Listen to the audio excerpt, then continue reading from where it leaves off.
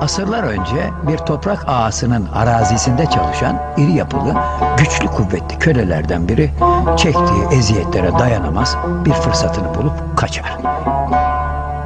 Gece gün dağ bayır demeden yol alıp başkente varır. O gün şehirde baş pehlivanlık güreşleri vardır. Kaçak köle hemen görevlilerin yanına gidip güreşlere katılmak istediğini söyler. Ve padişahın adamları kölenin iri kalıbına bakarak bundan büyük bir baş pehlivan olur diye düşünürler ve onu güreşlere sokarlar. Köle bir bir ardı sıra bütün anlı pehlivanları yenerek birinci olur. Sevinçten havalara uçup taklalar atan yeni baş pehlivanı padişahın huzuruna çıkarırlar.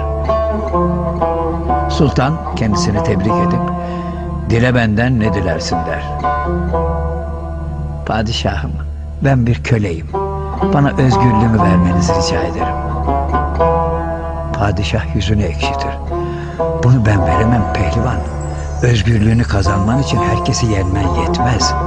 Kendini de yeneceksin. Köle sultanım kendi kendimi nasıl yenebilirim diye sorar. Bilge padişah cevap verir. Zafer şarabıyla sarhoş olmamayı öğrendiğin zaman.